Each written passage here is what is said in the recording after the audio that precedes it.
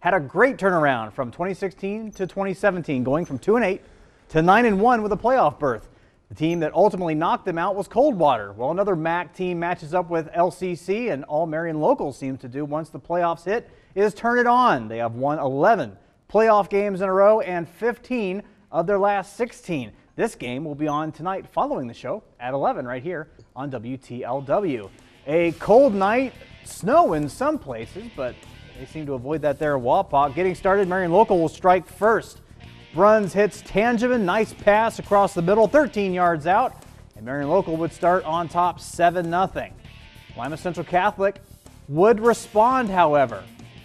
Stolly fake, fakes almost everyone out, including the defense. Sean Thomas with the catch, 50 yards, and a touchdown for LCC. They would lead 7 0 at this point because of the missed extra point. Bruns Going long again. This time he hits Matt Rethman, makes a couple guys miss, and he has gone 68 yards to the house, and Marion Local goes back on top. This one looking like it's going to be a back and forth contest.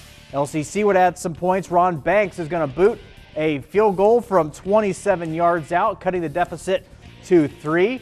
But the Flyers would respond after a nice seven play, 59 yard drive. Rethman, Rethman gets the toss and takes it into the house. This would put the Flyers up 20 to 10, and you sense kind of some danger. LCC needs to make a play, and they do. Bruns pressured is going to let this one go across the middle, off the hands of Tangeman, into the hands of Sean Thomas. Puts them up in plus territory, but the drive would stall out. T-Birds not able to get anything. Very next drive for the Flyers. They would get it, and Bruns hits Tangeman again, this time from 20 yards out. Marion Local would go up 27 to 10 at this point. They win 33 to 17 over Lima Central Catholic tonight, so they will advance, and we'll see who they play here in a matter of moments.